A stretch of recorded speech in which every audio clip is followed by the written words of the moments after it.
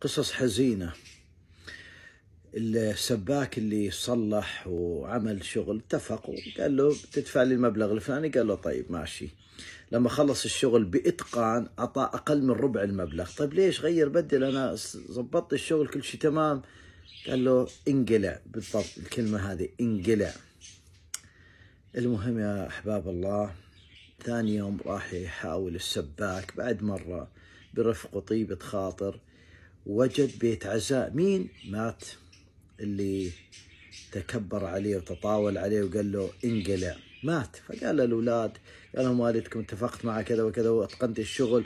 ويا جماعة الخير الله يرحمه ادفعوا لي دفع لي أقل من نص المبلغ أقل من نص المبلغ. لو سمحت ادفعوا لي. قال روح روح على قبره حصل منه. إلا من أتى الله بقلب سليم. شوف لا ينفع مال ولا بنون إلا من أتى الله بقلب سليم. هذول الأولاد اللي بتترك لهم الملايين وبتعمل الحلال والحرام مشانهم قال له روح على القبر. قصة ثانية واقعية ورث ورث. ويعلم الأبناء أن أبوهم ظلم وأخذ ورث خواته وأخذ ورث العائلة. فعلى سكرات الموت أو عند سكرات الموت أو عند قرب الأجل طلب يعني أنه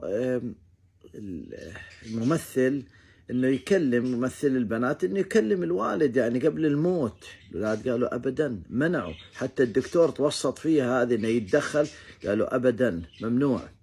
يعني يروح على جهنم أبوهم بس هم ما يقل الورث ما يقل المال اللي اوريدي منهوب.